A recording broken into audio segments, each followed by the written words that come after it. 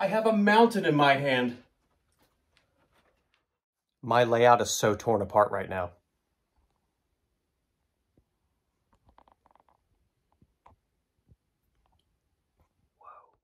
Welcome back, folks. Hope you're having a great week. It's time to demolish my layout. No, no, okay, okay.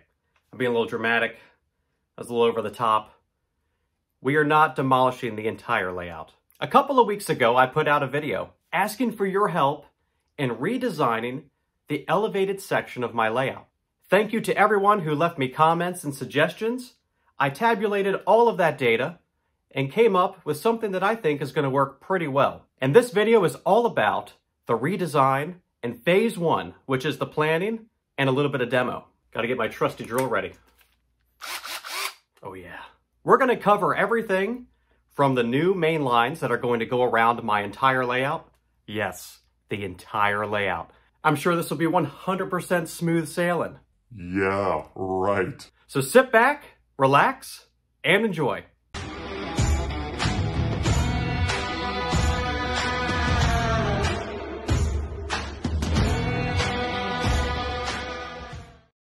This layout renovation is going to solve two problems that I have. One is the clearance issue for larger rolling stock, like auto racks, intermodal containers, and of course, most importantly, my Polar Express car with the hobo on top. Take it to Every part of the elevated lines have been redesigned and they will be raised to 8 inches off of the table surface. 8 inches is going to give plenty of clearance for everything that I need to do. My current elevated tracks are on the north and south end of my layout. One is a basic loop that I've mainly used for conventional and post-war and MPC era trains. Don't worry, we're still going to run all of those because those are some of my favorite trains to run. But rather than having two separate loops on the north and south ends of my layout, we're going to have two large sweeping loops that encompass the entire perimeter. The trains will travel from this bridge straight across to where I'm standing my passenger station will actually move up onto this elevated area. That will allow us to see the passenger station a little bit better. Then we're going to go from over here across the gap that I'm standing in and end up over here in the town of Addison. Look how dirty that is. It's a mess over there. It's a mess. I've already started taking things off the layout, and quite frankly, I'm out of places to put things. Yeah, whatever. So we're going to come over here. These bridges are coming out, the bridges that you see behind me. This red bridge will go to our traveling family Christmas layout that we do every year. More details about that and where you might be able to find that layout coming up. And the gray bridge is going to be donated to my brother, who is going to eventually build a layout for his kids. For the design, I used AnyRail software. If you've ever used AnyRail software, it's fantastic. You can also use SCARM, and there's a number of others. But I like the track database. I already had my original layout drawn in AnyRail, and you'll see this plan with the two sweeping lines. The outer line uses a 96-inch diameter curve, which is huge. It's giving me much more room to turn around the articulated steam engines and the larger passenger sets. And the inner line is going to be an 89-inch diameter curve. So we're going much larger than the 72-inch diameter curves that run the perimeter of my layout today. That, again, was the big challenge. I wanted to be able to run big steam engines across the bridges because they just look so magnificent when they span the bridges.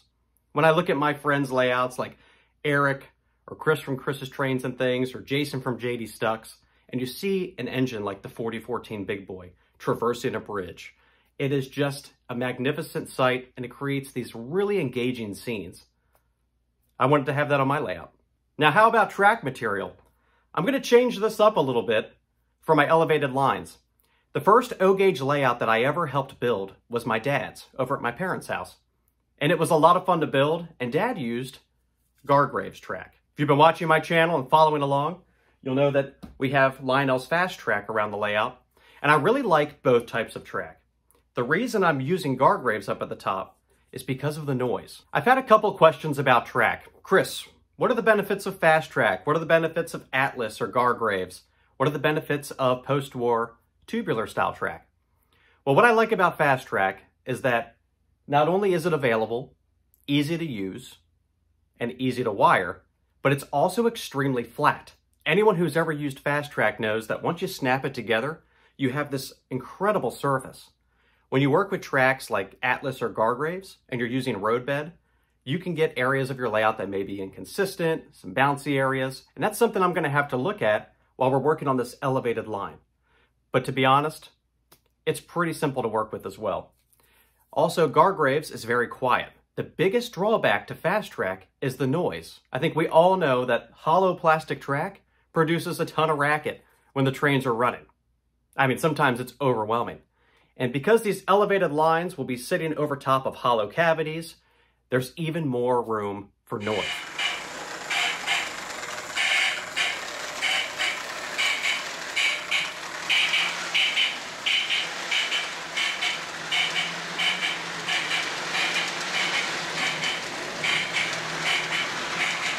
So to cut down on the noise pollution, we're definitely going to go with Gargraves. I got roadbed. I think it's going to be really cool and something fun and different to work with. So we'll have a blend of Fast Track and Gargraves on this layout. There's obviously going to be quite a bit of work to do, but you got to start somewhere. So I'm going to start with taking this track off. You'll see, see how easy that was to wire? The Gargraves track is not going to be that easy. You got to solder that stuff, but it's going to be okay. So what I'll do first is I'll take this track apart and then I'll take the trestles out and then we'll clear the scenes below so that we can make room to lay out the new track. So later this weekend, I'll lay out all of the track and make sure I can prototype my design so everything fits. Always want to do an extra check when you can. Anyone in the market for Fast Track? I'm going to have plenty of it after this. Let me know. Now it's time to pay tribute to my two elevated lines, and we're going to look at some of my favorite clips of trains running over these elevated lines since my layout was first built in November of 2020. Kind of bittersweet, but I'm really looking forward to what's ahead. So enjoy these clips as much as I enjoyed making them.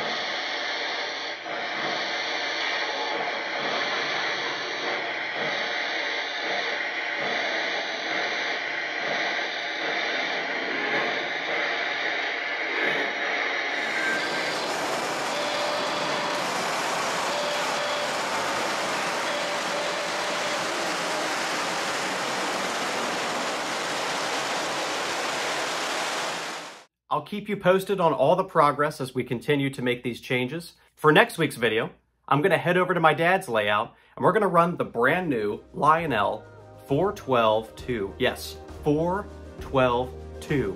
It's a huge steam engine, but I didn't want to do the video here because I got too much work going on. As always, a huge thank you to all of my subscribers and everyone who's been supporting this channel. My name is Chris, and this is RBP Trains. We'll see you next time.